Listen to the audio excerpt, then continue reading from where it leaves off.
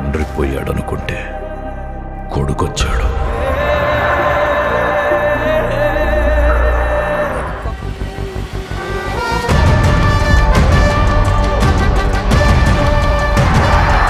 నాకు భయపడడం రాదయ్యా. నేనేంటో నా రాజకీయం ఏంటో మీకింకా అర్థం కాకపోవచ్చు. కానీ ఒక్కటి గుర్తుపెట్టుకోండి నేను వైఎస్ రాజశేఖర్ రెడ్డి కొడుకుని.